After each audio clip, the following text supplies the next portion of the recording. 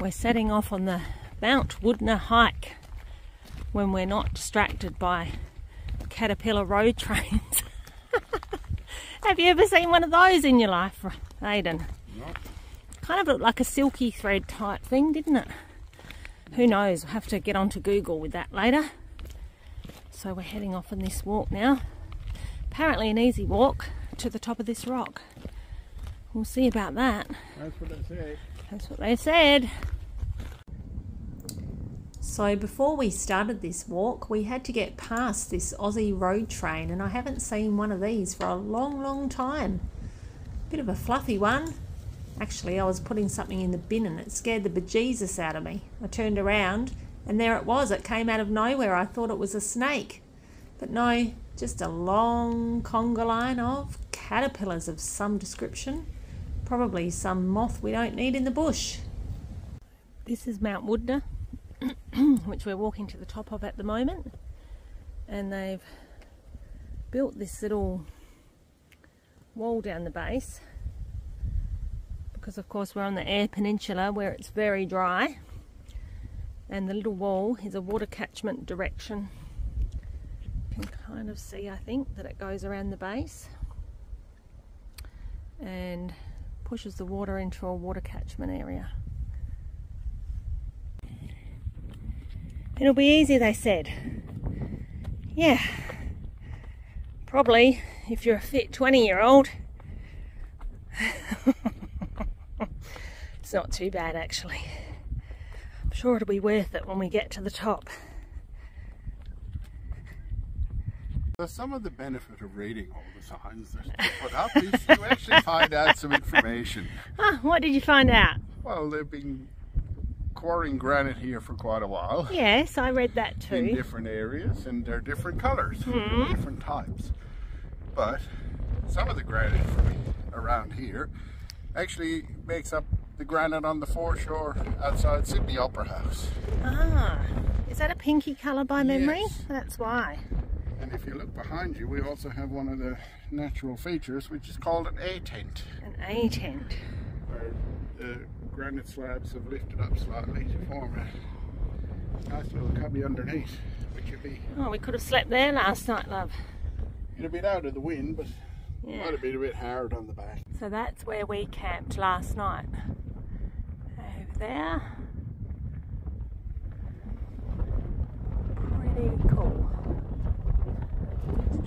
We made it to the top! What a surprise! It's windy! Hang on to your hats. Hang on to your hats, folks. Love that Eyre Peninsula wind. Oh, it's a good fresh day. He's reading all the signs out to me. It look, if you look closely, you can see the glassy quartz crystals and large pieces of red feldspar up to 50 mil long. This is why you want him at your quiz nights, people. You quiz nighters in Queensland. This is why you want him on your quiz team. Love him. So the surface is a little like Uluru, which I've been lucky enough to be at a few times. But obviously this is much more granity. Quite spectacular with all the colours. And uh, I suppose you'd call it a coarse sand under your feet, which has come off the granite over the years. This is the drain catchment area that we showed you earlier when we were going up the rock. Runs off into this. Would love to see the rock sometime with all the water. Would be great. When we went walking earlier, this little caterpillar train, well not so little, it's about a metre and a half, was making a, its way across some gravel and in an hour or so this is where it's come to. We didn't think we'd be able to spot it again. Little Aiden did a rough count. About 82.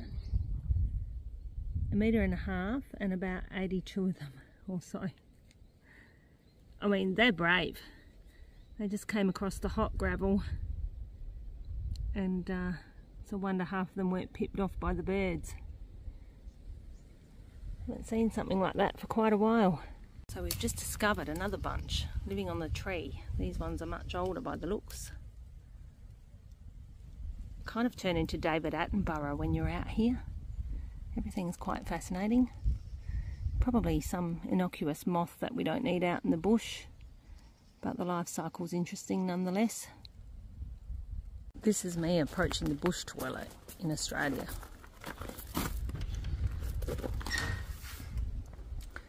always push the door open and have a little look-see first. Make sure there's not any of those little slippery, slippery, suckery snakes in here. Always shut the door after you um, because it's always so much cooler in there at the moment than out here. They can get under those little gaps under the door, pop themselves in there for a nice little sleep and you walk in to go to the toilet. I've only ever had it happen once uh, there was a python in a toilet, so that didn't bother me too much. Much rather run into one of them than a brown snake. Anyway, that's my little bushy tip for the day.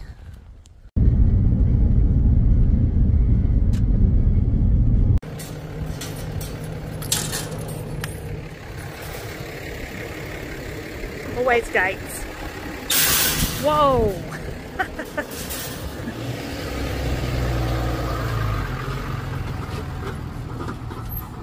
gates lead to the best exploring. The joy of being the driver rather than the navigator, you don't have to get out and open all the gates. She'll complain, everything,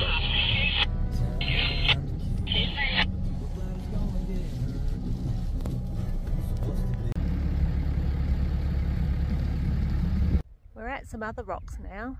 Now, they look like they're spelt pygmy, but it's probably something like Pygmy, something like that. But these ones are on private property, which you can access. Obviously, you shut the gates, leave everything has, sorry, leave everything how you found it. But I just feel like I'm going to be shot at any moment. Do you, Aiden? no. Just looking at all the wheat fields and a bit like the Wild West. fields. Yeah. Below the Goyder line here folks. So grain central. Are you playing a tune? I think that's what you're supposed to do. Play a tune on the emu. It's very cute. Papa emu And little blue eyes. And the little babies there